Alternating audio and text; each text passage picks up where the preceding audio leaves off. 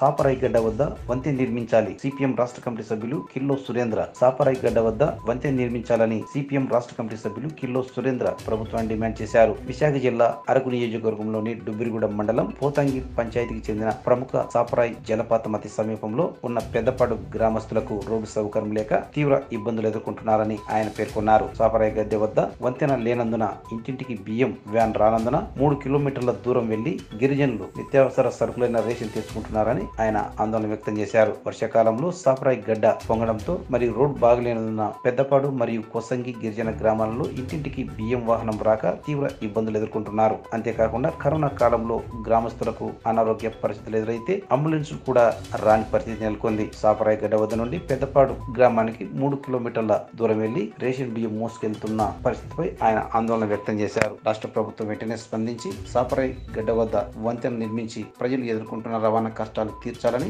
వారు ప్రభుత్వాన్ని డిమాండ్ చేశారు. ఈ కార్యక్రమంలో గిరిజన సంఘం రాష్ట్ర కమిటీ సభ్యులు టి సూర్యనారాయణ పెదపాడు గ్రామస్తులు పాంగి ఆసు తదితరులు పాల్గొన్నారు. విశాఖపట్నం జిల్లా తుమ్మిరిగూడ మండలం పోతంగి పంచాయతీ పెదపాడు గ్రామం.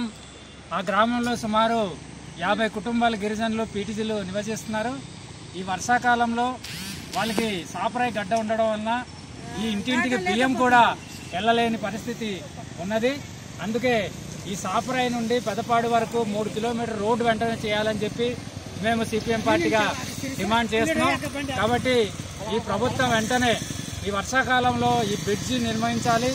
ఆ పెదపాడు రోడ్ నిర్మించి గిరిజనులకి ఈ ఇంటింటికి బియ్యం అందే విధంగా చర్యలు తీసుకోవాలి. అలాగే అనారోగ్యం వస్తే అంబులెన్స్ కూడా వెళ్ళలేని పరిస్థితి ఉంటుంది కాబట్టి ఆ అంబులెన్స్ కూడా వెళ్ళే విధంగా ఇక్కడ బ్రిడ్జి నిర్మించాలి. ఆ గ్రామాలకు రోడ్డు వెంటనే నిర్మించాలని చెప్పి మేము సిపిఎం పార్టీగా డిమాండ్ చేయడం జరుగుతుంది.